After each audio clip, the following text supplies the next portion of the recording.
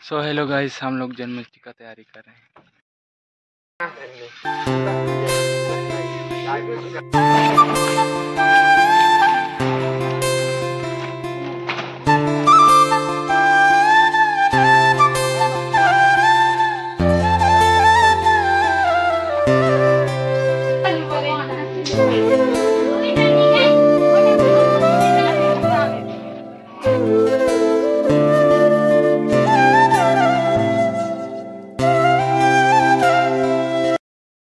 So guys आज जन्माष्टमी।